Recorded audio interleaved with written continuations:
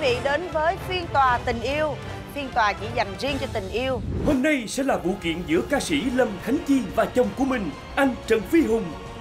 Là một trong những ca sĩ có tiếng vào những năm 90, Lâm Khánh Chi đã nỗ lực để tìm lại chính mình, trải qua nhiều sóng gió trong chuyện tình cảm. Giờ đây, nữ ca sĩ đã tìm được bến đỗ cuộc đời bên doanh nhân Trần Phi Hùng.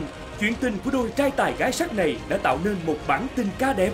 Trong phiên tòa hôm nay, Lâm Khánh Chi kiện chồng mình vì đã cấm cô ăn cơm để giữ eo. Tham gia chủ tọa phiên tòa, nữ thẩm phán quyền lực, nghệ sĩ nhân dân Hồng Vân. Luật sư đại diện bên nguyên đơn, nghệ sĩ Trấn Thành.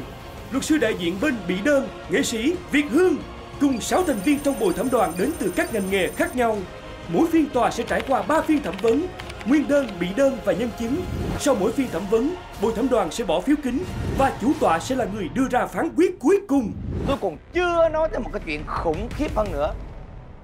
Ngoài không cho ăn cơm Anh ta còn bắt làm theo ý anh ta. Còn nhiều thứ lắm còn nhiều thứ lắm. Anh muốn chứng minh cho mọi người biết là anh thật sự rất là yêu em là anh thật sự rất là yêu em Khó xử quá. Anh đang ép buộc thân chủ tôi phải từ bỏ đam mê của mình. Mình có bực mình không? có bực nhưng mà tại vì em nghĩ vợ chồng đâm ra em nhìn. Nhìn. Em muốn hạnh phúc em muốn hạnh phúc. Em rất là sợ cái tình trạng nó xảy ra. Một ngày nào đó quên luôn bản thân em thì sao? Quên luôn bản thân em thì sao? Nhưng mà ức chế nhiều quá hôm nay mới ra thò nè. Anh muốn như vậy. Anh nghĩ như vậy và anh bắt thân chủ tôi cũng phải như vậy và em sinh ra không được may mắn như bao nhiêu người khác, thì cái sự nỗ lực của em nó sẽ gấp bội hơn những người bình thường Lâm Khánh Chi đúng hay sai khi khởi kiện chồng của mình? Tại sao Trần Phi Hùng phải ra tối hậu thư cấm vợ ăn cơm? Hãy cùng xem diễn biến của phiên tòa hôm nay.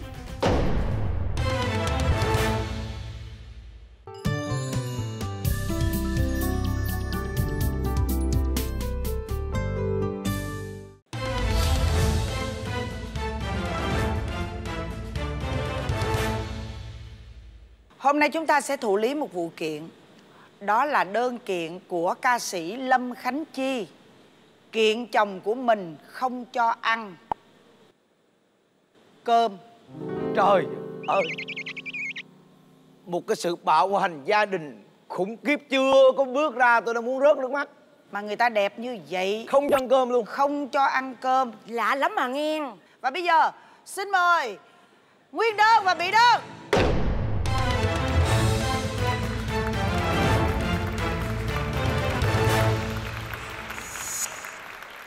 à, Chào hai bạn.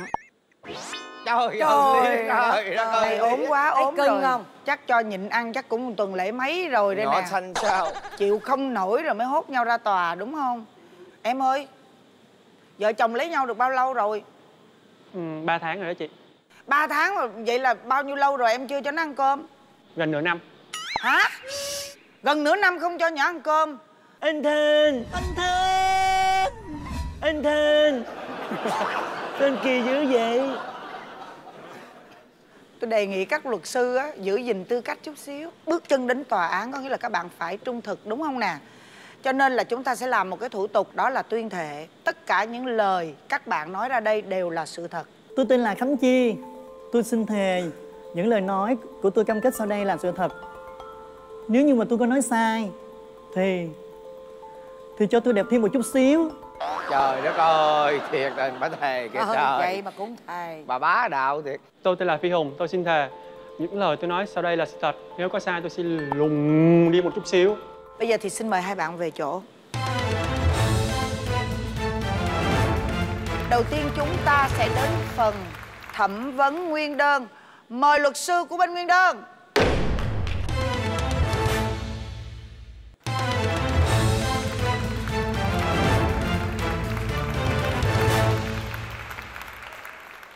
Chào cô Khánh Chi. Cô cho tôi hỏi Hôm nay cô đến kiện anh ta là kiện anh ta hỏng cho cô ăn cơm. Ủa Cái gì kỳ ngang ngược? Mắc gì cũng cho nhỏ ăn cơm. Tại sao vậy cô? Ảnh muốn khánh chi làm đúng 55 cân. Ảnh nói là không ăn cơm mới xuống cân được. Ừ. nên không cho ăn cơm bắt ăn canh rau thịt thôi. Cô có thích ăn cơm thích ăn canh chua nè ăn à, sườn à, chiên muối muối xả nè mà bác ăn không sao ăn không ăn không cho ăn cơm sao ăn? Sườn mà chiên tới muối xả mà đẩy vô không cho miếng cơm trắng nhỏ sao ăn. Nó mặn mà thiếu điều cũng quéo thận chua thì chua. Chua thì chua lè chua lét đúng không cô? Mà không cho ăn cơm. Rồi thí dụ gà kho rim mặn được có cho cơm. Không? tất cả các món mỗi ngày đều ăn với thịt và rau và canh không được ăn cơm. Mà vậy trước đó cuộc sống của cô có ăn cơm không? Trước khi cưới thì cho ăn cơm Trước khi bây giờ cưới rồi là không cho ăn. Trời đất ơi thiệt tình cha mẹ ta đẻ ra có cái miệng đàng hoàng cho ăn cơm giờ không cho ăn. Thưa quý tòa đây là một bữa ăn dinh dưỡng của cô lâm khánh chi. Đây sườn ram muối nó thơm mà nó mặn mà đẩy miếng cơm trắng vô. Trời ơi biết nói sao. À, chà. mà mỗi lần ăn năn nỉ với sợ. Không cho em xin nửa chén cũng cho. Không cho luôn. Xin giúp cục cũng cho. Dít cục không cho người nhỏ xin một cục thí dụ nói ờ ăn nhiều cũng mập mình không nói đúng dít con cục cũng không cho. Trời ơi một cục cơm mà không cho thì không tàn cho nhẫn quá. Thiệt tình đây. Trời ơi cá kho tộ thì cái dòng cá cá kho tộ này mà cái nó mặn ăn mặn. không làm sao ăn ta? Thiệt á làm sao mà ăn cá kho tộ mà ăn không? Tàn nhẫn đẩy nhẹ miếng cơm trắng gì ha nóng rồi vô. Trời ơi quất miếng vô. Anh nói là anh ăn được sao em ăn được? Ờ trứng muối không trứng trứng hộp vịt dầm nước tương thôi dầm nước tương thôi em hả? Ăn ngán không? Ngán mà phải ăn. Mà khổ tại giờ xách gạo đi cho hết rồi nhà cũng còn gạo nữa. Rồi sách gạo đi cho hết luôn hả? Cho nhớ nhà kế sớm cho nhà hàng xóm luôn. Trời ơi vậy vô tình làm từ thiện được luôn. Mừng quá trời còn gì. Nhưng mà có một số người vậy nè họ hay có cái triệu chứng là không ăn cơm á. Bị bụng rủng tay chân á em bị yếu á làm việc cũng nổi. Em có nằm trong cái tuyếp người đó không? Em đang yếu nè. Trời đất ơi thiệt mặt hoàng sẽ lẹ lét sơ nhôm nhanh thấy hả? Hết gồm cái mặt như cái tô này quéo lại cái mặt như trái cà tiếp Luật sư Trấn Thành lại nói quá rồi. Công chúa Lâm Khánh Chi vẫn rất rạng rỡ Chứ đâu có khô héo quắt quéo như trái cà tím đâu. Thưa quý vị đây là hình ảnh của thân chủ tôi lúc còn cơm. Và đây là tình trạng thân chủ tôi hậu cai cơm quý vị thấy không? Cái mặt của người ta to tròn đầy đặn phúc hậu như vậy. Đây có phải là một tấm hình mập không thưa quý vị? Ai nói cái tấm hình này mập giơ tay? Ai vẫn thấy tấm hình này là tấm hình đẹp giơ tay? Đó như vậy cũng gọi là đẹp. Đâu phải nhất thiết phải ốm như vậy mới gọi là đẹp. Thành thử ra tôi còn chưa nói tới một cái chuyện khủng khiếp hơn nữa. Ngoài không cho ăn cơm anh ta còn bắt làm theo ý anh ta là không cho thân chủ tôi mặc đồ gợi cảm. Bắt bận đồ là phải lên tới cần cổ. Trời đất ơi mà thằng nhỏ xinh không cho bận. Cô đã mất bao nhiêu bộ đồ rồi. Coi như là không được phép mặc cỡ bao nhiêu bộ đồ rồi. Khi nào mà đi à, sự kiện rồi đó thì bắt buộc buộc lòng mới cho mặc. Nhưng mà mặc xong nói sao? Hở quá vậy. Nói lên nói xuống phải không? nói vậy đó Nguyên xong vui lòng. nói hở quá vậy hở quá vậy hoàng tội nghiệp thân chủ tôi quá mà trời đất ơi! Ông đưa vật chứng kiểu gì hả ông luật sư? Riết rồi coi không có được à.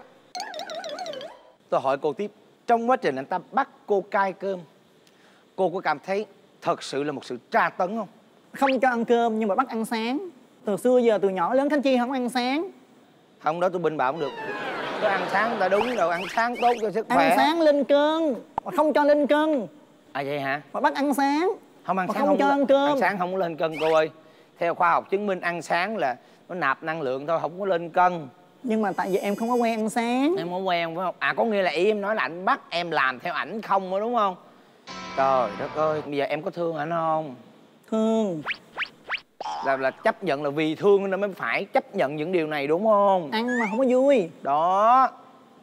Mất đi niềm vui trong cuộc sống của người ta thì ai cũng biết có những cái là tốt cho sức khỏe là nên biết. Nhưng có những chuyện người ta không thích làm. Rồi ngoài không cho ăn cơm có cho ăn bánh mì cho ăn gì không? Bánh mì thì cho ăn nhưng mà không cho ăn cơm. Quý vị thấy mâu thuẫn chưa? Quý vị thấy mâu thuẫn chưa? Bánh mì với cơm đều là những chất sản sinh ra tinh bột. Tại sao bánh mì cho ăn cơm lại không cho? Anh nói bánh mì với bún á, là là tinh bột ít còn cơm tinh bột nhiều. Ai nói bánh mì tinh bột ít? Khoa học nào chứng minh bánh mì mà tinh bột ít và quan trọng ăn cơm ăn chừng nửa chén cũng không sao hết. Miễn là lượng calorie nạp vào nó không quá so với lượng calorie thải ra thôi là chúng ta sẽ không có bị mập. Cho tôi hỏi cô đi hát cô lên sân khấu cô có nhảy không? Cô có hoạt động không? Cũng có. Có đúng không? Ừ. Cô đi show cô có mất năng lượng mất tinh thần không? Có chứ. Đi tỉnh mà đúng đi không? tỉnh đi xa bạn tắm tiếng. Ờ. Mệt chứ vậy là năng lượng cô có giải phóng ra đúng không? Cô à, có thực hiện một số những cái biện pháp giảm cân ngoài cái việc không ăn cơm không? Em uống trà thêm. Cô uống trà đúng không? Cho đến giờ phút này cô nịch cảm bụng thấy- nữa. Nít bụng nữa đó.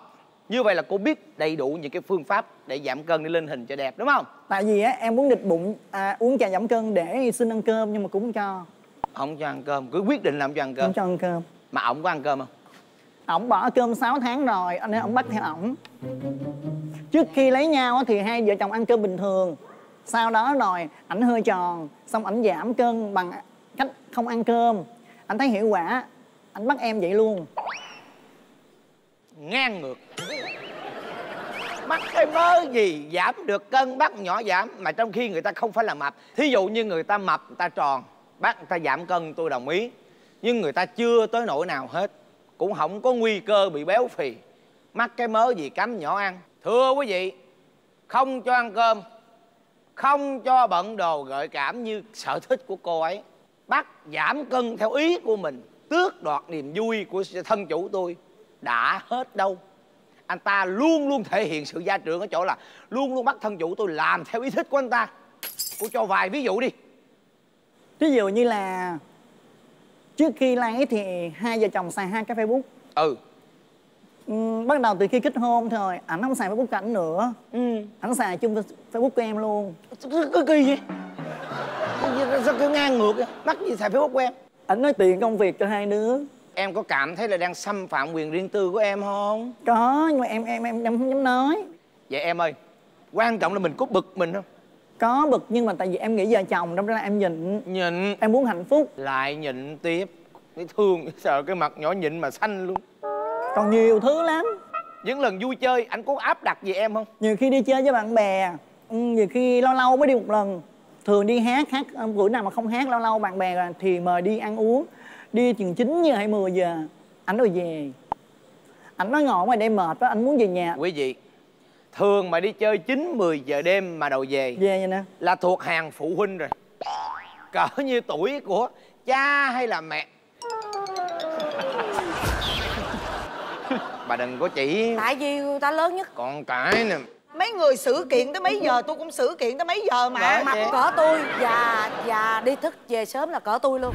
Ây da, luật sư Trấn Thành lại vơ đũa cả nắm. Nắm tóc cả chùm rồi. Tôi cũng 9 giờ tối là về nhà Mà tôi chưa có già nha. Ủa ủa Mà chồng không la cà đi chơi đêm Thì phải tự hào chứ ta. Sao lại kể tội trong phiên tòa như vậy? Tội cho chàng trai ấy. Thưa quý vị người ta là một ca sĩ hoạt động người ta về đêm mà đi chơi bắt ta chín mười giờ về nhà. Về để chơi game.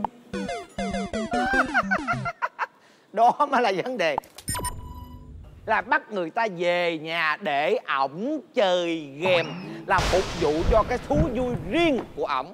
Mà bắt thân chủ tôi phải hy sinh cái thú vui của cổ.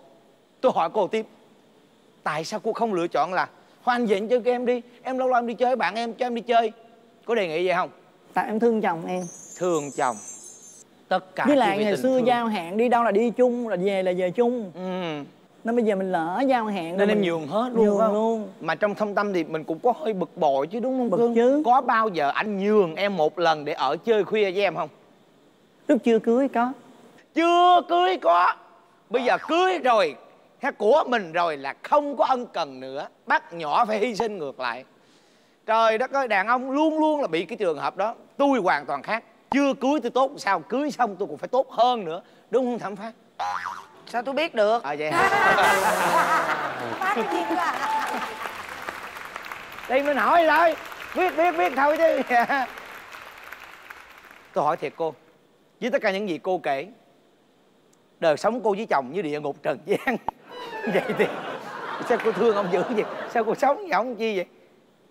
Nói chứ cũng thương phải không cô? Thương. Thương quá mà thương thì mới chấp nhận. Chấp nhận hết. Nhưng mà bị ức chế nhiều quá hôm nay mới ra tòa nè. Quý vị nên nhớ kỹ điều đó luôn.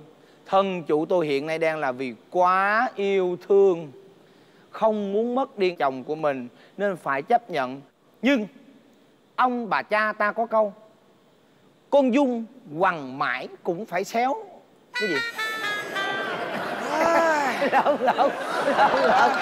Lâu lâu. Chăn cơ thì còn hỏi lâu đi lâu nói lại nói lại nói lại ông bà ta có câu con chó mà dồn chân tường cũng cạp lợ Trời ơi Anh Dung nó sao Nghe sao con chó con quá là con sao? dung ví người ta như con dung thế nó còn thanh tao Đây, đây, đây, làm lại. ngược qua con chó là Để- để- sao đem làm nữa đem làm Lại nữa đi luôn. chứ ghê Ok. quá à. dạ thưa quý vị con dung xéo mãi cũng phải quằn Đó người ta là phụ nữ nhịn thương quá nhưng cũng phải tới một lúc nào đó thôi bây giờ người ta ức chế lắm người ta mới ra kiện. Giúp mình em cũng đâu muốn kiện đâu đúng không em? Đúng rồi. Ai muốn kiện chồng? Có lẽ có ba tháng kiện. Gì Phản đối? Gì nữa? Tôi không có yêu cầu luật sư dẫn dắt vô tiếng khóc Tạo thêm hơi hướng rồi vô cho bội tẩm đoàn. Thương cảm. Rồi. Phản đối hữu hiệu Ok. tôi cũng ngán ngược luôn á.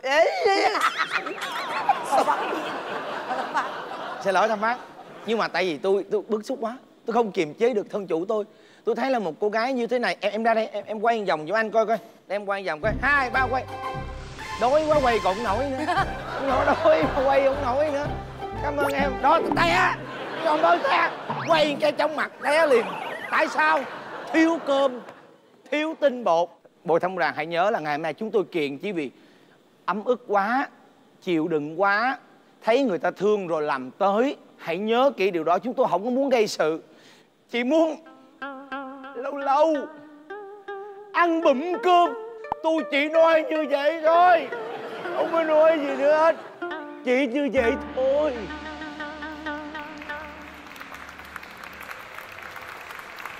Xin mời à, luật sư của bên bị đơn Chị à, có một ông xã rất là đẹp trai. Ổng đẹp từ đó giờ vậy hay là ổng mới đẹp được vậy? Body ổng được đẹp vậy tôi phản đối bây giờ luật sư bây giờ cứ nhìn chồng của thân chủ tôi mà miệng xích xoa rồi cứ hỏi về Dạ này. em đang đặt câu hỏi à. À, Tôi muốn biết là anh này đẹp từ xưa giờ hay là mới à, đẹp đây? Hồi đó anh có đẹp gì không? Hồi đó đẹp vậy đó. Dạ. Rồi từ, bây giờ từ cách đây lấy 6 em tháng đẹp hơn. À, Dạ quen em đẹp hơn là cách đây 6 tháng. Anh có dùng cái biện pháp gì không để cho anh giữ được cái body này? Thì anh kiêng ăn anh, anh không ăn cơm. Anh không ăn cơm. Anh anh xuống thấy bao là nhiêu hiệu ký? quả. Dạ xuống bao nhiêu ký? 8 kg 8 kg rồi à, anh bắt khánh chi không ăn luôn. Dạ. Mời anh à, Hùng đứng lên. Tôi ngờ mời anh bước qua đứng kế anh chân thành rồi Tôi mời anh. Tôi trân trọng mời anh.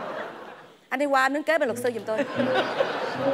Tôi yêu cầu à, luật sư chân thành. Anh làm ơn anh đứng im đó Để cho thân chủ tôi đứng kế bên. Cái- cái Tôi đèn- cần hình ảnh tôi không cần đèn. Cái đèn sáng Người ta lo rồi. Tôi đề nghị anh đứng kế bên. Hả? Ai đề nghị đâu? Dạ Tôi ba. đề nghị đứng kế bên ừ. Đứng sát vô anh làm gì à Tôi đề nghị đứng kế ồ bên vậy hả? Đó Anh cao một mét mấy anh Hùng? 82 82 Anh nặng bao nhiêu ký? 74 kg Dạ. 1m82 nặng 74 kg Còn đây 1m74 nặng 82 kg tôi phản Tôi đối. không nói gì nữa. Tôi phản đối. Cuộc đời tôi chưa bao giờ leo lên cái con số 82 kg Anh bao nhiêu ký? thưa thằng phán tôi chỉ có 74 kg thôi. Anh 78 kg tôi là hiện nay. Tôi có cân tôi đem ra liền bây giờ. Hiện nay là Yêu cầu lấy cái cân đem ra đây. Đem cân ra đây. Nè ở đây không phải là cái chợ để mà cân rau củ. Phải. Thằng phán nói tôi là rau củ. Không phải. Bạn quá là dở bạn có quyền từ chối câu hỏi mà. Yêu cầu đem cái cân ở đây. Cận vô số tôi không? không sợ. Đéo lên. Mang giày vô cởi giày ra nên nhớ trừ một ký bộ đồ tôi ra. Đi lẹo lên 76 kg à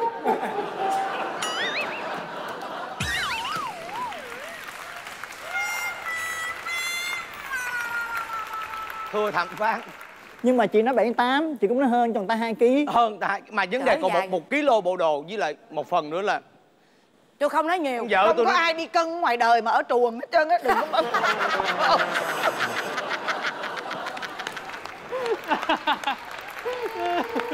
Trời ơi! Cứ đòi trừ bộ đồ ra ngoài à. Tôi hiện nay đang bị quá trình bị vợ ủ mập. Tôi phản đối nếu vậy anh kiện vợ anh đi Tự nhiên kêu vợ ủ mập 76 kg ba. Cả nước đã biết. Kỳ này cân nặng của Trấn Thành đã bị đem ra sỉ nhục tập thể Mặc cho anh chàng ra sức đổ lỗi cho vợ Chắc là dành ăn với bà xã Harry Won Nên thân hình mới ngày càng phồn vinh như vậy. Nếu ai chưa kịp xem phần trên Thì tôi xin nhắc lại là luật sư Trấn Thành Nặng hơn 76 kg ba đó nha. Tôi mời cô khánh chi lên đây cưng. Cái trường đó dài không vậy? Ừ rồi. 57 kg 2 rồi mời cô về chỗ. Thôi thì tôi sẽ không nói cái số cân của cái anh chồng sau khi ảnh giảm 8 kg sau 6 tháng ông không ăn gạo không ăn tinh bột cơm gạo hột màu trắng không phải hột màu nâu. Thì với 57 kg số đo ba vòng của cô là bao nhiêu? 90 64 98 có nghĩa là từ đó đến giờ cô có như vậy hay là trong hai tháng nay chồng cô kêu cô không ăn cơm cô có cái số ờ, đo và số cân như vậy từ xưa giờ thì cũng số cân như vậy nhưng mà cũng có thời gian thì um, hơi chọn tí. Và hai tháng nay nhờ như vậy mà cô trở lại ba vòng sexy nhất. Do là em uống trà dạ em lịch bụng. Em có ăn cơm hai tháng nay không? Ừ, ừ. dạ tôi chỉ cần hỏi như vậy thôi. Đàn ông trên đời bốn cái tứ đổ tường không có gì hết. Chỉ có chơi game thôi đúng không? Thích đọc truyện nữa. Dạ có phải là cô đã từng hỏi anh ta là giữa game và em anh chọn ai không? Sao chị biết hay vậy? Nói nghe nè chồng của em là người ăn rảnh ở rỗi ở nhà nằm chơi hay là đang làm quản lý? Chồng em đang làm manager cho em chị. Dạ. Quản lý là một cái nghề mà nhất là quản lý ca sĩ là một cái nghề rất là cực. Ảnh là cái người chung với facebook của cô có đúng không? Vậy thì cái đó là hoàn toàn có lợi ích cho một nữ ca sĩ. Lâm khánh chi đâu có phiền gì sai gì đâu. Dạ tôi đi về tôi không còn gì để nói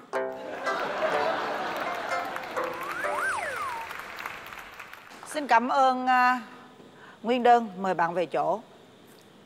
Cảm ơn à, hai luật sư.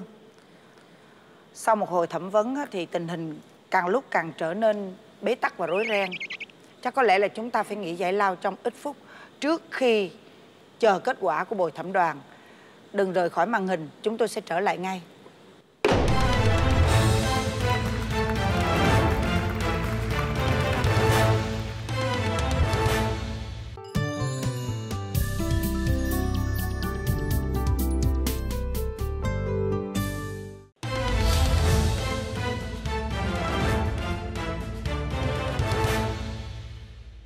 Sau phần thẩm vấn nguyên đơn, mọi người đã hiểu được nguyên nhân vì sao chồng Lâm Khánh Chi lại cấm vợ ăn cơm. Tất cả đều bắt nguồn từ suy nghĩ và trải nghiệm thực tế từ bản thân của anh ấy. Bồi thẩm đoàn nghĩ gì về điều này? Số phiếu bình chọn sẽ nghiêng về ai? Hãy cùng chờ xem nhé! Mong chồng hiểu rằng cơm không thể thiếu đối với tôi. Chào mừng đã trở lại với phiên tòa tình yêu Và bây giờ chúng ta đã có kết quả của bồi thẩm đoàn Cảm ơn bạn mừng Cô vợ xinh đẹp Khánh Chi bạn có 4 phiếu Và anh chồng Phi Hùng bạn chỉ có hai phiếu mà thôi Kết quả 4-2 đã nghiêng về Lâm Khánh Chi, chứng tỏ phần đông thành viên trong bồi thẩm đoàn đã không tán thành phương pháp cấm vợ ăn cơm để giảm cân của Phi Hùng. Liệu Phi Hùng và luật sư của mình sẽ có đủ bằng chứng và lý lẽ để đảo ngược tình thế ở phiên thẩm vấn tiếp theo? Và bây giờ chúng ta đến phần thẩm vấn bị đơn. Xin mời luật sư của bị đơn.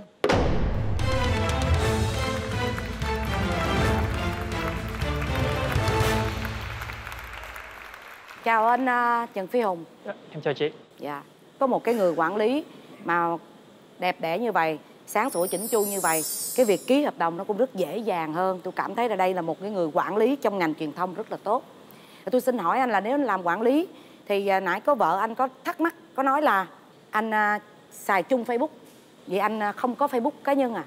À, không em có. Nhưng từ lúc ừm, hai vợ chồng cưới nhau về ừm, em làm luôn công việc manager cho vợ thì em hoàn toàn bỏ luôn cái facebook cá nhân của mình đi. Dạ Và bỏ thú vui luôn. Dạ tập trung hết cho công việc của vợ. Tập trung cho vợ. Anh có những cái à, à, đường hướng để cho đưa hình ảnh vợ ra đẹp hơn tốt dạ, hơn? rồi. chính xác là em quản lý facebook của vợ em. Nhưng nhưng cái message em không hề đụng đến cái message của vợ. Em chỉ là người quản lý hình ảnh mà thôi. Dạ cảm ơn anh. Bồi thẩm đoàn ghi nhớ giùm tôi điều đó. Cái thứ hai vợ anh có phản đối là anh à, không chịu đi chơi. Ta cho đi chơi mà không chịu đi. Tại sao không chịu đi chơi? Ai mà không thích đi chơi hả chị? Dạ. Nhưng mà từ lúc cưới vợ về thì vì là thương vợ thì em hạn chế đi chơi lại. Và cái thứ hai nữa là vợ em miệng nói là cho đi chơi nhưng thực tế ra lại không muốn em đi chơi lâu. Đi ra đường khoảng 3 phút là kêu về. Chị ơi cho em nói một câu một thôi. Dạ. Thật sự ra là cũng vẫn muốn cho chồng mình đi chơi. Mấy lần nói là thôi anh anh anh cứ đi chơi thì đi chơi đi. Tại thấy ở nhà hoài anh nói "Tại anh anh đâu có chơi với ai nữa đâu mà đi từ khi à, lấy em rồi thì anh không cho không có giao thiệp với bạn bè nữa. Không chơi với ai. Là anh tự tình nguyện ở nhà. À. Ờ. anh tự tình nguyện ở nhà. Dạ thân chủ tôi cũng trả lời đúng như vậy à. Tự tình nguyện Đúng. ở nhà đúng không ạ? Lý Nhưng do không cấm nha Không cấm. cấm. Nhưng mà lý do em tình nguyện ở nhà là vì thương vợ. Chứ đâu phải không có bạn là không đi chơi được. Ngày xưa anh chơi game dữ không? Em chơi gần như là ngày xưa gần như là một ngày 24 tiếng em chơi game khoảng 10 tiếng 12 tiếng đến 20 tiếng. Lúc chưa lấy vợ. Lúc chưa lấy vợ và tại sao bỏ game? thì ba dạ, mẹ ở đâu không ngăn cấm à? Ba mẹ em nói em bỏ game em cũng không. Em bỏ ngoài tai. Dạ. Khi lấy vợ về vợ nói thì rất là nghe lời vợ. Vợ nói sao? Vợ kêu là giữa game và em anh chọn ai? Rồi chọn ai? Tất nhiên em chọn vợ. Dạ nên em vợ bỏ hoàn game. toàn game. Và vấn đề đọc truyện nữa tức là mới đây thì hai đứa có giao kèo là 11 giờ tắt đèn hai cái điện thoại cất đi không đụng đến quay qua ôm nhau ngủ. Và em cũng chấp nhận. Trời. 11 giờ em em quăng điện thoại ôm giờ em ngủ. Bỏ chuyện luôn chính xác. Không đọc chuyện quay bơ ôm vợ vợ luôn. Trời ơi 11 ơi. giờ đọc con vợ rồi. Trời ơi. Trời thấy cưng không trời ơi 11 giờ hai đứa giao hẹn. Dạ, dẹp tắt điện thoại tắt điện không đọc chuyện qua đọc vợ. Trời ơi cưng dễ sợ. Cái này là cái gì ạ? Đây là cái cái ren nịch bụng. Anh địch thử tôi coi. Chị có thể nịch. Dạ. Nịch hết cỡ như là nịch cho khánh chi ạ. Cái này không hiệu quả đâu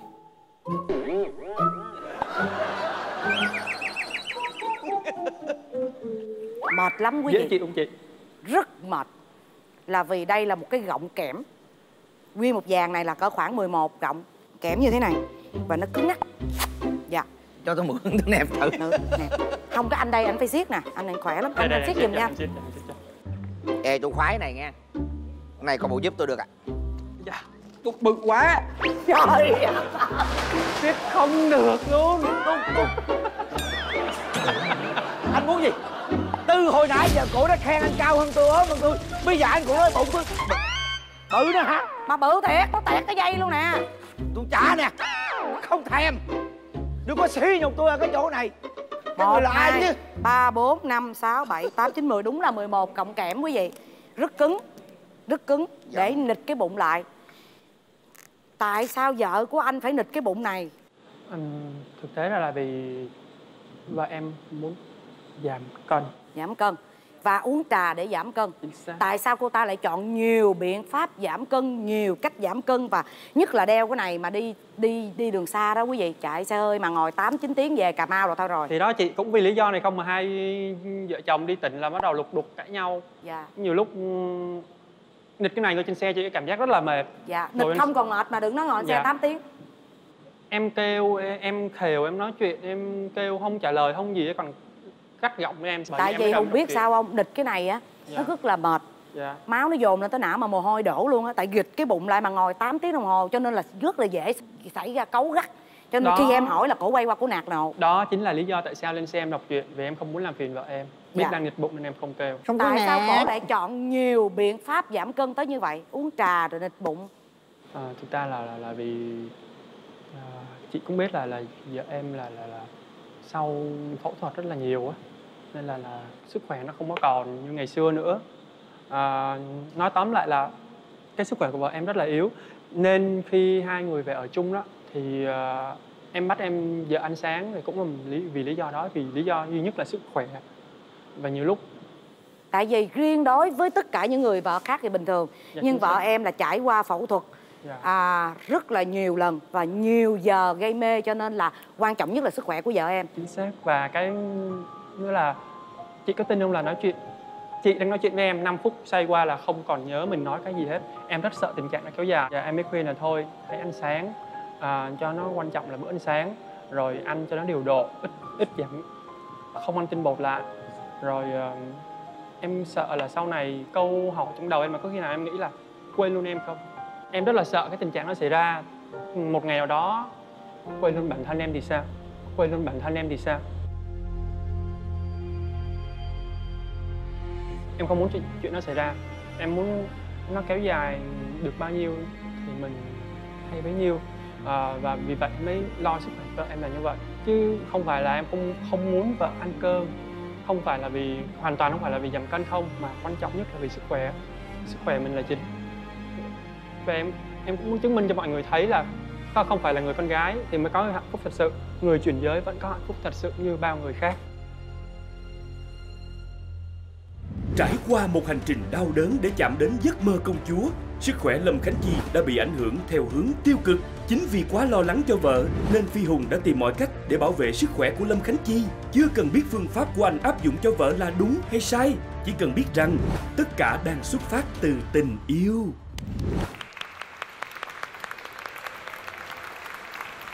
riêng này cho tôi lên bắt tay bạn cái bạn quá đàn ông cảm ơn bạn tôi rất thích những người như thế và em chăm sóc vợ em kỹ hơn không đi đêm không Dạ, thức khuya. để tránh trường hợp là cái sức khỏe nó giảm dần thì Dạ. cũng đi bằng với lại cái trí nhớ của cổ. Dạ đúng rồi. Bởi vì riêng vợ em là một trong những cái người đặc biệt hơn giải phẫu nhiều. Đó cũng là lý do khi khi đi chơi em thấy khoảng 10 giờ hoặc là hơn 10 giờ em em thường là kêu về sớm đi để ngủ. Và có những lúc bữa sau mình còn phải đi nữa nên em không muốn vợ em ở ngoài đường quá lâu. Vì ngoài đường quá lâu thì lúc về nhà chỉ biết không? Về nhà mệt lắm. Bình thường người khác mệt thì người ta sẽ ngủ liền. Nhưng vợ em mệt lại càng khó ngủ. Nằm chằn chọc qua chằn chọc lại. Thì lúc đó em làm gì? Thường là hai đứa khoảng uh, 10 giờ mấy về đến nhà. Nếu mà không đi đâu là bỏ điện thoại ra là em sẽ massage cổ cho vợ em để thấy để lúc đó mình con người mình thoải mái relax rồi nó dễ ngủ đó chị. Tại sao em không chọn một người phụ nữ bình thường? Ừm, em cũng không biết nữa. Chắc em nghĩ là cái đó là cái duyên phận. Đến thì mình mình đến với nhau thôi chứ không phải là muốn không muốn. Tôi xin phép bắt tay anh là tôi rất quý trọng những con người như anh. Rất cảm ơn anh. Tại tôi không có nghĩ tôi nói thật nha nếu mà tôi là một người phụ nữ tôi là một người chị một một người mẹ tôi mong ước anh lấy một người vợ để được sanh con để được ở bên cạnh cũng được bóp gáy cũng được bóp vai như vậy. Anh nói tôi rất là cảm động với cả luôn cộng đồng của các bạn ở thế giới thứ ba. À, tôi rất là thích tôi cũng đã từng hợp tác là một cái bộ phim với chị Vân à, chị Vân đã cho tôi một cái vai mà tôi đã sống trong cái nhân vật đó cả cả tháng. Tôi nghiên cứu được và tôi biết chắc những cái khó khăn của anh ngày hôm nay. Tôi nghĩ tôi không còn gì câu hỏi ờ, đó với, với anh nữa.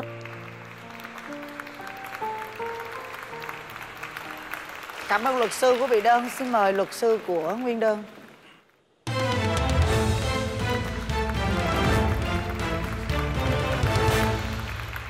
xin chào anh phi hùng. Cho tôi bắt tay lần nữa. Em chào anh tại vì thật sự ra tôi cũng ít có tiếp xúc với anh. Tôi chỉ tiếp xúc với khánh chi trong những lần đi show. À, tôi cũng thấy cô này là một cái cô may mắn quá. Tại vì không phải người nào chuyển giới cũng có thể gặp được một người tốt để rồi thành gia lập thất. Mà đặc biệt là cái người đó cũng là một cái người ở cao to đẹp trai có điều kiện á. Tôi rất là mừng cho khánh chi với cái hạnh phúc mà mình đang có. Và tôi thực sự đồng cảm với câu chuyện anh đang chia sẻ. Tôi nói thiệt rất nghiêm túc. Tôi rất là ngưỡng mộ một cái người đàn ông như anh. Là anh hy sinh một số những cái, gọi là, thị phi bên ngoài anh không màng tới để anh chứng minh cho mọi người thấy rằng là cái quyền bình đẳng về hạnh phúc nó dành cho mọi người. Cảm ơn anh vì cái sự văn minh đó. Nhưng, thưa quý vị, tôi xin à, thẩm phán và chư vị vào thẩm đoàn chúng ta hãy tạm xua tan đi cái bầu cảm xúc lắng động lúc nãy bởi vì đó là câu chuyện của một người chồng thương vợ thì ai cũng biết. Nhưng bây giờ vụ kiện của chúng ta là người đàn ông không cho phép người phụ nữ ăn cơm. Đó là một vụ kiện về vấn đề ngăn cấm sở thích của nhau. Vì vậy, tôi xin quý vị hãy nhả người ra một tí để cho mình công tâm tí. Chứ quý vị cứ nghe về câu chuyện anh ấy thương vợ thì sẽ bị rất là phiến diện. Dạ vâng bây giờ chúng ta sẽ bắt đầu Xin lỗi nhã người là sao không hiểu. nhả người ạ à. dạ tôi dùng từ là nhả người ra tí chỉ có ăn tao mới nhả ra thôi chứ người Bởi vậy nhả. mới nói đó. thả lỏng người Ờ, ra một tí đi đó, ạ ờ. ý là quý vị hãy thả lỏng người ra để cho mình cân bằng lại cảm xúc chứ không thôi thì nghe anh ấy thương vợ quá thì đôi khi mình bị phiến diện vâng tôi muốn hỏi anh anh có biết ăn cơm là một cái niềm đam mê của vợ anh không em biết chứ có biết game cũng là niềm đam mê của em vậy. Chính xác. Anh bỏ được game đúng không? Anh bỏ được truyện chưa? Theo vợ em thì nói 11 giờ bỏ chuyện là 11 giờ bỏ chuyện. Cho tôi hỏi anh là một ngày anh đọc truyện bao nhiêu tiếng đồng hồ? Một ngày đọc truyện khoảng 10 tiếng. Dành cả 10 tiếng để đọc truyện Còn thời gian đâu mà chăm sóc vợ? Cái này là tôi hỏng binh vật ăn được à nghen 10 tiếng Đó là 10 tiếng được cho phép hay là len lén đọc thêm? Cái đó là toàn bộ thời gian. Có được 100% sự hài lòng của cổ hay không? Hay là lâu lâu cổ không biết cũng len lén đọc thêm? Cũng có. Thì bởi vậy Cổ mà muốn siết anh nó dễ lắm. Cổ quy định cho anh ngày 4 tiếng Cũng được vậy. Nhưng một ngày mà 10 tiếng đồng hồ đọc truyện tranh Đã là hơi nhiều rồi đó thưa quý vị. Dạ. 10 tiếng đọc truyện 8 tiếng đi ngủ là còn đúng 6 tiếng đồng hồ Dành cho cuộc đời Là quá ít với một người đàn ông? Nhưng Thân chủ tôi Đâu có ý kiến. Thân chủ tôi chỉ khuyên anh ta, nhưng sở thích đó anh ta còn chưa dừng hẳn được. Vậy tại sao ngăn cấm cái sở thích của thân chủ tôi dù chỉ là một cục, một muỗng cũng không cho, mà trong khi anh được tới 10 tiếng đồng hồ đọc truyện? Nói nghe là xí xí hỏi chút hỏi chi nè có khi nào mà ảnh đọc truyện đó rồi ảnh quên show của em không? Có chị, Khánh Chi mới nói là ngày đó, thí dụ ngày 16 tháng 7 Anh lo đọc truyện anh ừ xong một chút anh quên nốt vào. Rồi quên luôn. Bị mấy lần sau đó tới ngày đi hát xong rồi Mình không biết mình không đi. Là mấy lần luôn hả? Mấy lần nhưng mà nói anh anh chối Anh nói là, là, là anh không nghe. Tôi muốn từ miệng anh thốt ra là có chuyện này không anh hùng đẹp trai? Có có. Có thì có nghĩa là có nhưng mà bây giờ bớt rồi. Để đây để để tôi nói cho anh nghe. Nếu nói anh ta là một quản lý thì hiện nay anh ta đôi khi vì cái đam mê của anh ta sao lãng cái công việc chánh. Có nghĩa là đó là một cái thói đam mê có gây hại. Chứ tôi biết cái món tráng miệng ưa thích của anh á. Tôi biết là anh thích thích ăn đồ ngọt đúng không dám nói không đi. Anh thích ăn đồ ngọt gì nè? À, kem. Kem. Với lại à, à, mấy cái xương xa. Xương xa. Và có món ngon nữa. Bánh sầu riêng đúng không? Tôi biết hết ôi sao anh thành biết hay vậy? Sao tôi biết hết ta? Tôi luật sư mà. Có camera trong nhà hay thì sao bởi vậy bây giờ tôi hỏi anh là trong thời gian anh kiêng khem giảm cân anh có ăn mấy cái gọi là bánh sầu riêng bánh lọt là không đôi khi có thì có. bởi vậy. Ê nó tôi, nghe tôi phản đối. Ăn được rồi còn luật sư còn làm tiếng nghe nó thèm tôi phản đối. Tôi tôi tôi không được ăn cái bánh. Rồi rồi. Bây giờ quan trọng hơn hết nè là ăn cái bánh sầu riêng đó lén lén ăn mình hay phải rủ cho bằng được bà vợ ăn chung? Thì có rủ có rượu bởi vậy tôi hỏi anh chứ anh giảm cân cho giữ vô anh cắm tan cơm cho giữ vô anh lôi bánh sầu riêng cái thứ mập nhất trên đời ra anh rủ người ta ăn chung. Mà trong khi thân chủ tôi có thật sự muốn ăn bánh sầu riêng hay không? Mời cô trả lời. Không. À. Không có em rủ là em rủ là bạn rủ thì người ta phải Rủ thì ăn. ăn. Luật sư ơi nhưng cái bạn là không rủ thì người ta sẽ không có nhu cầu ăn đúng không cưng? Thật sự là không thích bánh sầu riêng. Không thích bánh sầu riêng luôn kìa. Luật sư có nhiều người giống như là thẩm phán người ta giảm tinh bột nhưng mà người ta ăn giò heo hầm. Thì lâu lâu mới cho ta ăn miếng sầu riêng một chứ. tháng em ăn có lần à. Ờ tháng ăn có lần. Tại sao anh biết nói một tháng anh ăn một lần mà một tháng anh không cho vợ anh ăn cơm một lần? Ăn bún là đủ rồi anh. Đó là lý do anh muốn như vậy. Anh nghĩ như vậy và anh bắt thân chủ tôi cũng phải như vậy tôi còn chứng minh thêm một cái chuyện là sở thích đọc truyện của anh nó còn nguy hại hơn cái sở thích ăn cơm của thân chủ tôi kia kìa. Anh thân là một quản lý, đã đôi lần quên xô vì cái chuyện đọc truyện, nhưng chưa dừng lại ở đó. Anh có còn nhớ một sự kiện, anh đọc truyện anh mê man tới nỗi đêm về anh gọi tên con nhỏ nào trong cơn mơ? Và hai vợ chồng phải dựng đầu dậy gây lộn giữa đêm không? Rồi cái này là vợ em nói chắc luôn. Vợ bạn không nói làm sao tôi biết. Tôi luật sư mà. Có không? Anh nói đi có hay không? Có có có. Thành thử ra đó là một cái thói quen ảnh hưởng đến hạnh phúc gia đình. Thân chủ tôi nới rộng ra vẫn cho anh duy trì 10 tiếng đọc truyện trong ngày. Vậy tại sao anh không cho thân chủ tôi dù chỉ một muỗng cơm trong tháng? Anh đang ép buộc thân chủ tôi phải từ bỏ đam mê của mình. Tôi thấy thật bất công cho cô ấy. Cảm ơn luật sư của nguyên đơn và cảm ơn bị đơn. Mời bạn về chỗ. Căng à? Càng căng. Bởi vì ở đây ai cũng lập luận rất là sắc bén để bảo vệ quan điểm của mình. Một người thì nói là quá thương vợ để mà phải giữ gìn cho cổ. Lập luận đó rất là xúc động xúc tích và một lập luận ngược lại, có nghĩa là cô ấy đã hy sinh tất cả để chiều và đồng ý chấp nhận những thói quen của chồng, những áp đặt của chồng. Và cô chỉ xin một chút xíu thôi, có nghĩa là làm ơn cho cổ thỏa mãn. Cái đam mê từ bé tới lớn của cổ là được ăn cơm, tháng chừng muỗng cũng được. Khó xử quá. Thành ra, chúng ta cần phải có thời gian để bồi thẩm đoàn hội ý bản thân tôi cũng vậy. Phải nghĩ cho não nó bớt căng một chút. Chúng ta sẽ trở lại ngay.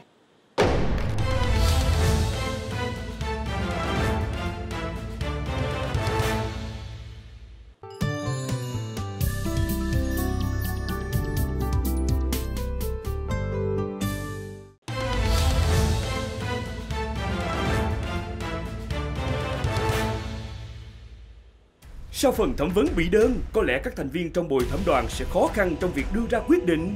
Rõ ràng hành động cấm vợ ăn cơm của Phi Hùng là chưa hoàn toàn đúng, nhưng lý do thì lại có thể thông cảm được. Liệu ai sẽ chiến thắng trong phiên thẩm vấn này? Cùng chờ xem nào! Tôi làm mọi thứ là để bảo vệ sức khỏe của vợ. Chào mừng đã quay trở lại với phiên tòa tình yêu. Vừa rồi sau phần thẩm vấn của hai luật sư đối với bị đơn thì à, chúng ta đã có kết quả của bồi thẩm đoàn. Cảm ơn bạn. Phải công nhận là hai luật sư quá giỏi. Hai luật sư quá giỏi cho nên là cái phần gọi là cái phần thẩm vấn của hai vị đối với lại à, bị đơn. Cảm nhận của bồi thẩm đoàn hiện giờ là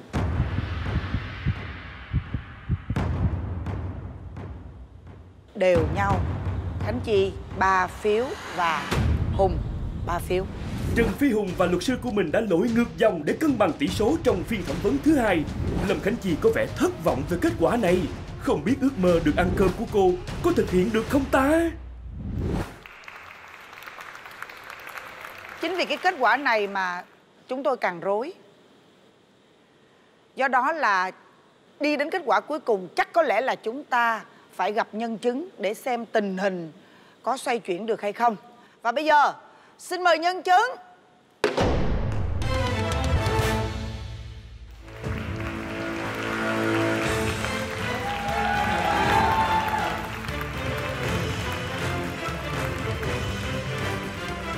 Trời ơi.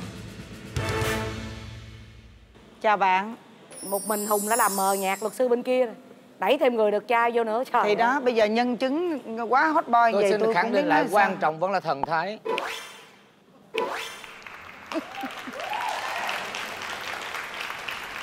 à, Bây giờ bạn giới thiệu về mình Dạ, em xin tự giới thiệu. À, em tên là Dương Cường, là bạn của lại à, chị Khánh Chi với lại anh Hùng. Bây giờ xin mời luật sư của Nguyên Đơn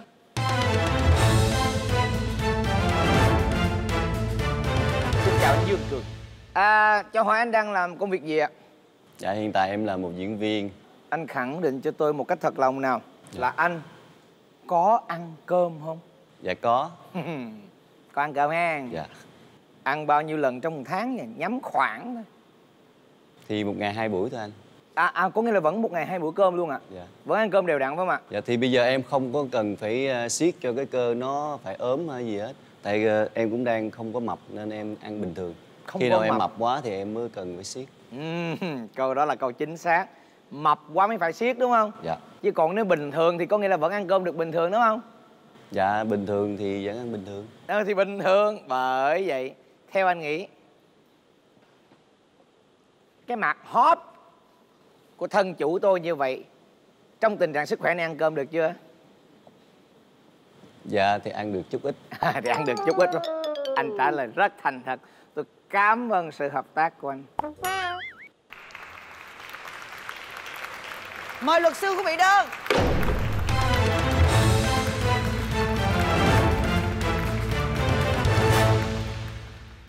Chào bạn. Trước khi lấy anh hùng à, chị chi có ốm đẹp gì không? Dạ Gặp cũng không? ốm đẹp Ờ, cảm ơn sự thành thật của bạn. Nhưng mà hôm nay ờ, ốm hơn. Ốm hơn. Có bao giờ em đi ăn chung không dạ có. Ăn chung thì hai vợ chồng ăn gì? Ừ, thì ờ, cũng ăn bình thường thôi nhưng mà thấy ít ăn. Em ăn nhiều. Ta mời tới cái ăn nhiều hơn ta vậy anh thành thật quá tí thương nhân chứng. Chân nhân chứng của tôi là người đàng hoàng mà đúng không ạ? Đâu thì bây giờ nhân chứng người ta nói thật thôi mà. Dạ người ta Ý nói thật đó. đúng không? Luật sư hỏi tới đâu thì người ta sẽ trả lời tới đó. Anh hùng có thích đi chơi không ạ? Đi dạ đi không em thấy anh hùng ờ, từ đó về em có rủ anh đi nhậu anh cũng không đi nữa. Tại sao vậy? Chắc là ảnh còn phải cho chăm sóc cho chị hay sao em không biết. Dạ. đi anh nhậu anh cũng không nhậu nữa. Không nhậu trên Dạ. ngồi làm gì? Ảnh ngồi ảnh chơi anh ăn anh chăm sóc cho chị không à? Người ta bạn thân nha ta phải binh nhau chứ sao? Đương sự của tôi là hiện giờ lấy vợ là giống như đi tu vậy đó phải không ạ là hoàn toàn bỏ hết tất cả mọi thứ vui chơi ngoài xã hội chỉ tập trung lo cho vợ thôi đúng không ạ Dạ, chắc cái đó em nghĩ là do à, ảnh cảm thấy cái điều à, chăm sóc vợ à, làm cho vợ vui là điều hạnh phúc của ảnh. Dạ tôi không còn gì để hỏi. Cảm ơn bạn.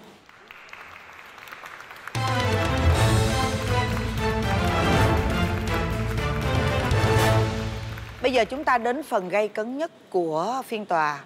Đó là phần tranh luận của các luật sư biện hộ cho thân chủ của mình. Đầu tiên xin mời luật sư của nguyên đơn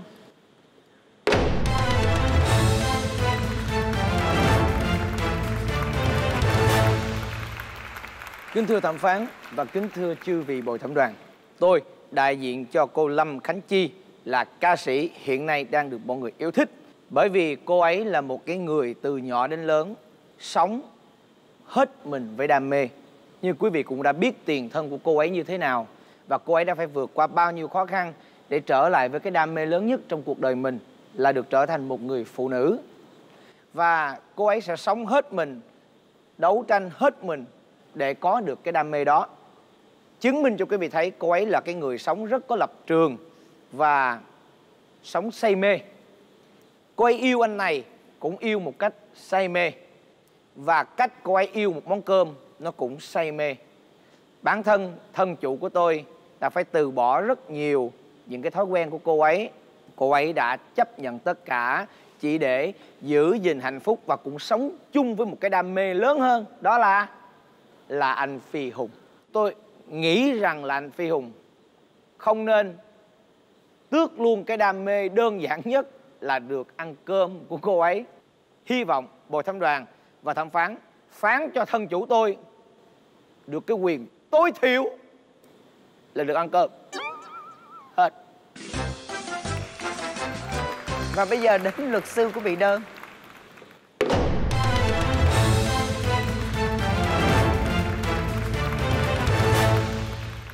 Kính thưa bồi thẩm đoàn, kính thưa thẩm phán, tại sao thân chủ của tôi lại lo lắng nhiều đến như vậy? Là vì thân chủ tôi lấy một người đặc biệt hơn những người phụ nữ khác. Thân chủ tôi hoàn toàn là vì vợ. Ở thời gian cổ còn đi hát 5 năm nữa 10 năm nữa thì tôi nghĩ đến cái tuổi là chi cũng phải cần ngừng lại. Thì lúc đó tôi nghĩ anh ta cũng đủ thông minh. Một người thông minh sáng suốt bình thường như vậy là sẽ cho vợ mình ăn cơm thôi mà tiết chế chứ không phải là cấm như bây giờ tất cả những việc anh ta làm chỉ một mục đích duy nhất đó là quan tâm sức khỏe đó là cái tình cảm của một người chồng vừa mới lấy vợ được 3 tháng tôi không còn gì để nói Cảm ơn hai luật sư. Các vị bồi thẩm đoàn có nhức đầu không? Chắc có lẽ là chúng ta cần vài phút để hội ý, có phải không ạ? Thưa tất cả các bạn, cho chúng tôi một vài phút nghỉ giải lao. Chúng tôi sẽ quay trở lại ngay với phiên tòa tình yêu.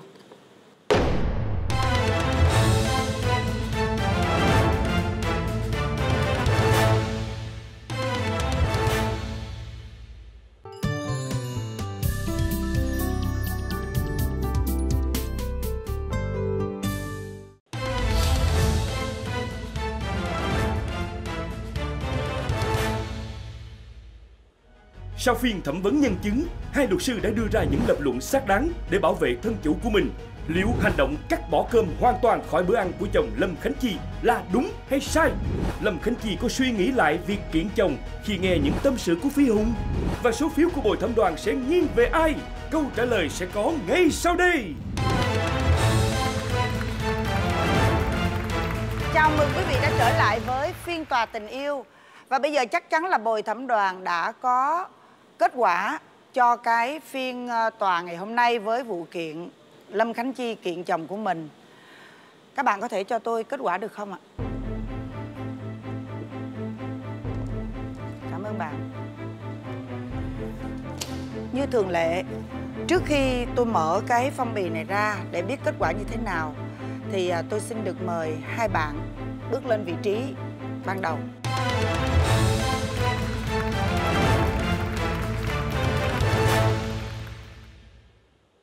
Đứng trước mặt tôi bây giờ là một cặp đôi các bạn có đầy đủ tất cả mọi yếu tố nam thanh, nữ tú, trai tài, gái sắc.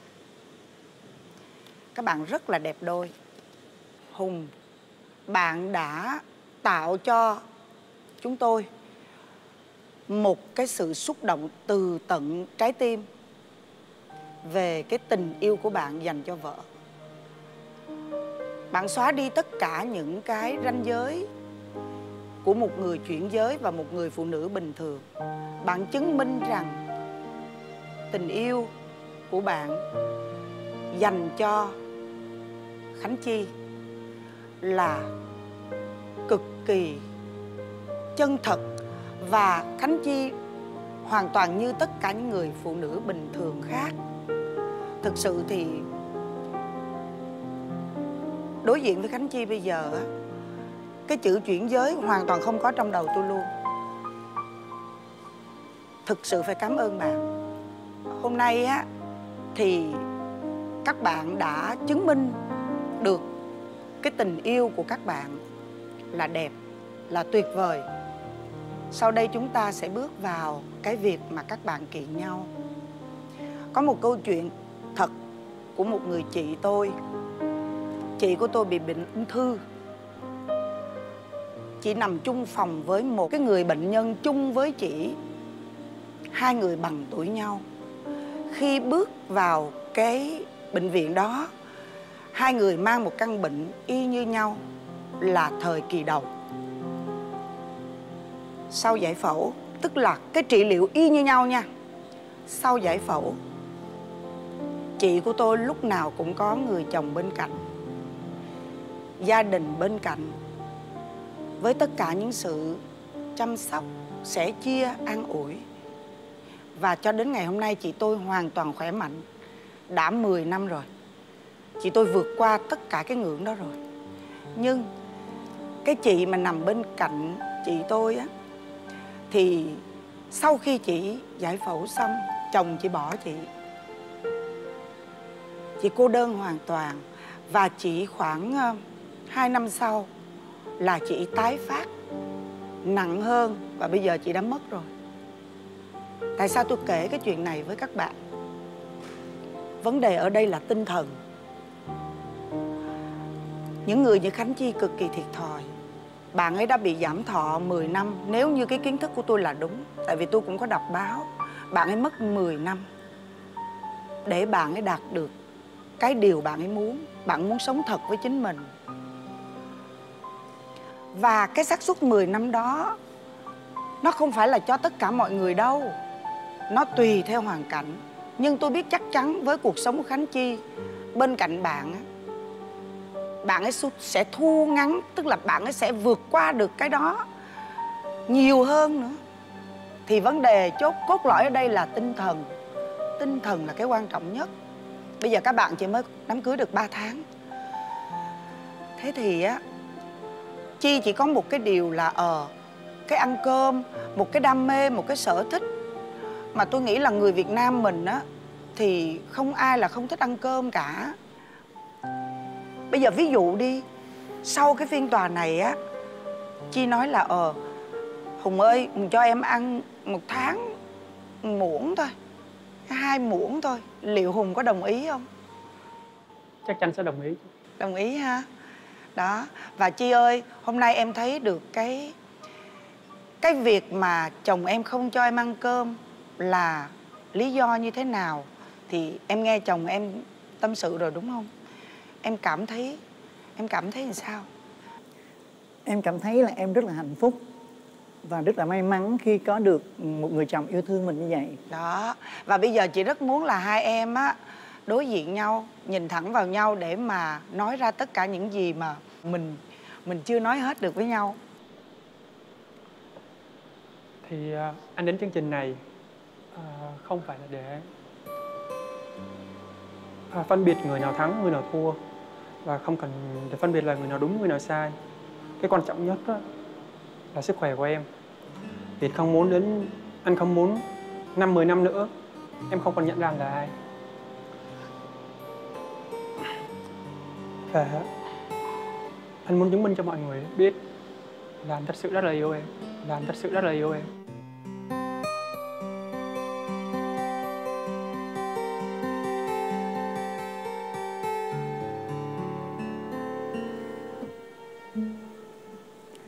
Em cảm ơn anh rất là nhiều.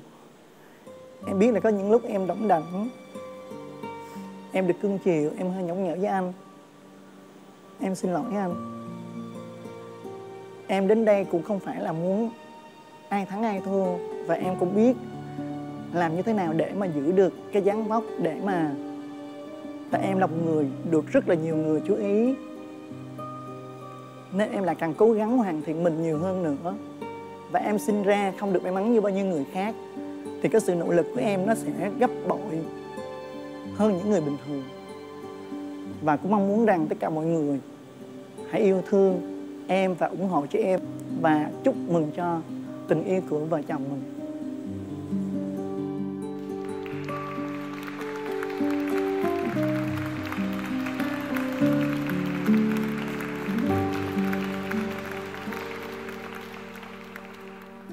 Thấy thương quá à. Ờ thích quá à. Để thực hiện ước mơ công chúa, Lâm Khánh Chi đã phải đánh đổi quá lớn và cuộc đời đã bù đắp cho cô một món quà vô giá. Đó chính là người chồng rất đổi yêu chiều và lo lắng quan tâm vợ. Vậy là cuối cùng chuyện cổ tích đã xuất hiện giữa đời thương. Nàng công chúa Lâm Khánh Chi đã tìm được hoàng tử Phi Hùng và hai người sống hạnh phúc bên nhau. tôi tin chắc rằng là cái tình yêu này ngày hôm nay các bạn đến với chương trình này người ta sẽ nhìn mình với một ánh mắt khác Dạ sẽ rất yêu thương hai bạn bởi vì tình yêu của hai bạn nó đẹp hơn những gì người ta thấy được ở bên ngoài Bản thân tôi cũng vậy. Thực sự là các bạn là một cái minh chứng hùng hồn cho mọi người thấy là tình yêu của các bạn cuộc sống của các bạn có khi đẹp hơn những gia đình bình thường luôn. Dạ. Đó cho nên là chỉ điều này chỉ có ở phiên tòa tình yêu mà thôi. Cho nên bây giờ chắc mình phải coi kết quả đi. Bây giờ vậy đi. Kết quả là tôi mở ra rồi đó. Nhưng mà giờ mình chơi cái trò chơi cho vui đi. Giờ hai vợ chồng nè đoán thử coi. Kết quả là làm sao tỷ số làm sao? Ai thắng ai thua hay là bằng? Giờ Em đoán muốn đi. thắng không? em nghĩ là hòa Dạ. Chi? chi. Em thua cũng được. Trời ơi, thương quá. Ồ, phụ nữ quá à. Thương em thua cũng được cưng. Cưng quá à. cái đó là em nhường nhưng mà đây là Em chị nhường. không nhưng mà chị đang muốn em đoán cái tỷ số này. Đón hả? Ừ. Đón thì em nghĩ là chắc hòa nhau hòa luôn. Hòa trời hai chồng đồng thanh đồng thủ đồng cảm dễ sợ. Dạ. Nhưng mà em có biết là tất cả mọi người đứng về phía em không? Bởi vì sao? Ông bà mình ăn cơm từ nhỏ tới lớn mà. Bốn hai. Ông anh ơi thua rồi kìa. Lạ lắm mà nghe Đây là một cái phiên tòa mà sau khi kết thúc là tràn đầy nụ cười chứ không có nước mắt à, Rất vui vì cái điều đó. Bây giờ thì chúng ta lại phải tạm chia tay nhau rồi. Chắc chắn là chúng ta sẽ gặp lại nhau vào số sau của phiên tòa tình yêu. Cuối cùng thì à, chị ơi rớt bông tai kìa. Trời ơi, hết hồn. Rất một lần nữa là chết à nha. Chúc các bạn hạnh phúc nha. Sau tất cả mình lại trở về với nhau, tựa như chưa bắt đầu, tựa như ta vừa mới quen. Sau tất cả, lòng chẳng hề đổi thay. Từng ngày xa lìa khiến con tim bồi hồi, và ta lại gần nhau hơn nữa. Có những lúc đôi ta giận nói điều gì? Thời gian cứ chậm lại từng giây phút sao quá dài để khiến anh nhận ra mình cần em hơn. Anh ngồi xuống đi. Dạ tôi tôi không giữ được bình tĩnh. Và những lần đó đều là đến nói chuyện một cách rất là nghiêm trọng sau những cái lần cãi nhau. Thì anh ôm em giống như chẳng khác nào anh anh nhận là anh sai anh xin lỗi và anh ôm theo như anh nói, anh anh tả luôn là anh đã xin lỗi và ôm theo ý em muốn rồi, giờ em muốn sao nữa chinh? Em muốn sao nữa chinh? Anh thấy cô tác vô mặt anh chưa? Tại vì anh tác vô mặt tôi đó. Có bao giờ bạn yêu cầu trinh, dừng lại đi, bình tĩnh lại đi? Mà khi mà em quen anh đăng em mới biết là anh đăng có rất là nhiều những cái quan điểm cũng như là cái thói quen rất là khác em. Bây giờ em sai chỗ này chỗ này chỗ này. Có bao giờ em giải thích như vậy với cô ta không? Dạ chưa. Chính vì những cái thói quen không cần thiết này đôi khi tạo ra một chất xúc tác làm phai nhạt tình yêu.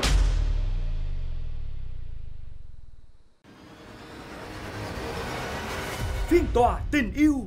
Phiên tòa đặc biệt với những người nổi tiếng đi kiện mà sao âu yếm vui vẻ quá. Chọc cho ghen, không ghen Bây giờ tự nhiên lấy chồng xong cho ăn cơm. Đói rung tay luôn. Đói quá quay còn nổi nữa. Luật sư bá đạo. Vậy dành ăn với anh hay sao mà làm gì nó miếu dữ vậy anh có ăn mấy cái gọi là bánh sầu riêng bánh lọt là không?